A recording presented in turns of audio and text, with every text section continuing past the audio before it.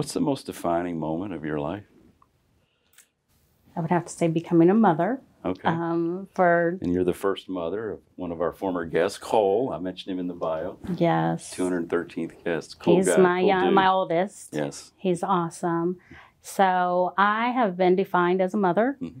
for 19 and a half years now. And um, I remember being in the hospital and seeing him and thinking, I want six more. I just want to fill my house with kids. And God has blessed me with one more, um, Liam, who is Mhm. 17. hmm But like I said earlier, I learn from them and they make me better. And um, I never wanted to be one of those moms who was no, no, no, and you're doing this wrong. Right. And so I really had to try to figure out how can I help them learn. And it made me better because then I'm like, I have to learn from my mistakes and to be able to um, accept others' opinions so that I can help them learn those things. And they they have just exceeded my expectations, hmm and um, they're And- amazing. And I know them outside of, of here, and they, they really complement each other they do. in their approaches and Mhm. views of the world. So that's a, that's a beautiful thing to see. Not always the case with siblings, so Right. it's beautiful.